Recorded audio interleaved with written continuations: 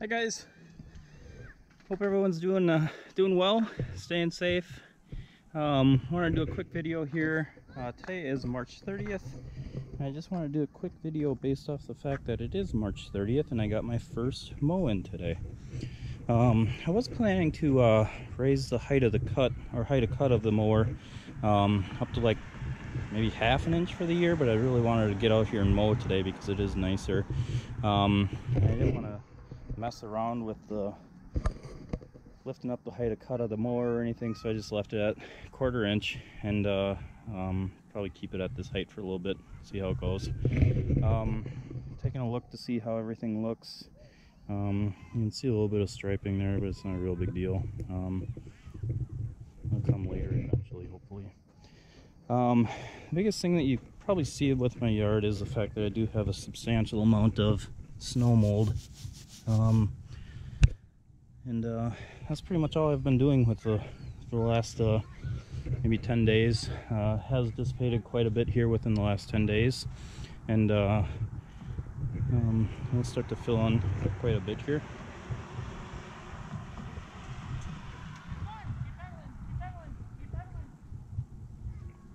So.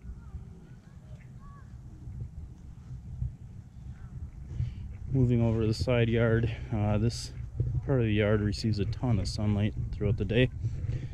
Um, so it's always pretty green. It's looking really good right now. Took the roller out here the other day and was rolling.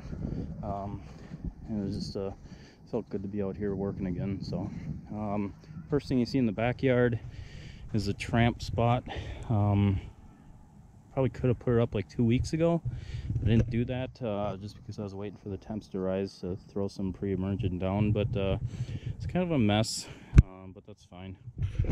Um, I'll put the tramp up in just a little bit here.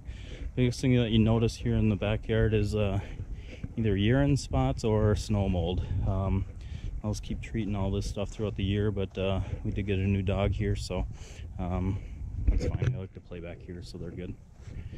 Uh, moving to the way backyard, um, I threw quite a bit of dirt and sand back here just to level it out. Uh, last year, I do mow down here. Most of the other neighbors just leave it as is. Um, but I mow it back here, just maintain it a little bit. I'd like to be able to mow uh, with the reel mower all the way down there eventually, but not quite there. I do take my rotary down there. Um,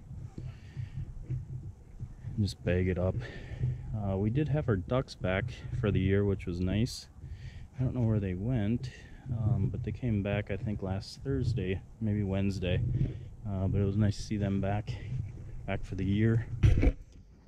So that was just a quick spin around the backyard here. Um, moving back towards the front. Uh, just taking another quick peek up here.